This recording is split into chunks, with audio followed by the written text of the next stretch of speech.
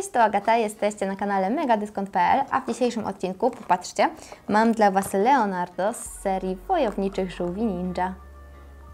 W zestawie znajdziemy jednego z żółwików, akurat w tym momencie mamy tutaj Leonardo, a także cały zestaw klocków, za pomocą których zbudujemy jego pojazd. Na początek rozpoczniemy od przymocowania oświetlenia. Tutaj mamy światełka. O, przyczepię je teraz ładnie do naszych części. Ojejka, to się coś nie chce przyczepić. O, dobra. I już jest przygotowane. Tak przygotowane oświetlenie przyłączę teraz do podstawy. O tak, że możemy je ładnie obrócić, przez co staje się bardziej e, ruchoma i możemy ruszać światełkami.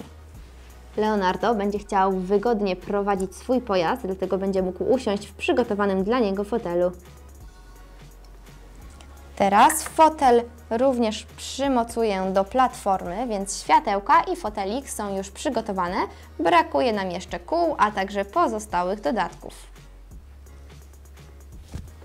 Przygotujemy teraz szybę jeszcze do pojazdu. Najpierw trzeba przymocować podstawę i takie mini podwyższenie. Tu mamy już szybkę.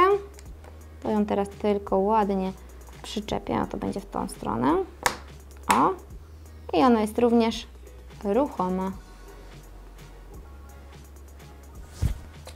Dołączę teraz jeszcze dodatkową szybkę.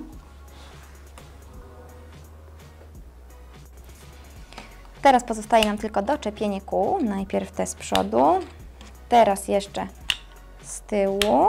O, bez problemu można to zrobić. I pojazd już może jeździć. Wykorzystamy teraz pozostałe elementy zgodnie z instrukcją. Dołączymy jeszcze kolejne części. Trzeba je troszkę mocniej przydusić, żeby ładnie się nam trzymały. O, w ten sposób. Przyczepmy teraz ostatnią część na koniec pojazdu, o tak, razem z naszą ruchomą częścią i prawie wszystko jest gotowe. Tutaj mamy jeszcze tarczę razem z imieniem naszego żółwia, czyli Leo. Spójrzcie, jak wygląda Leo, który jest już przygotowany do walki, ma swoją niebieską opaskę, a także trzyma w dłoni swoją broń. Z tyłu ma schowaną taką mini tarczę, więc jest gotowy do tego, aby podjąć walkę. Teraz posadzę go w jego nowym samochodzie. O, myślę, że jest mu całkiem wygodnie. Ładnie się w nim zmieścił i może wyruszyć na bitwę, mając w zapasie schowaną broń, odpowiednią przygotowaną tarczę, a także oszklenie, za pomocą którego będzie mógł się schować lub też mieć większą widoczność, tak aby żaden wróg go nigdzie nie zaskoczył.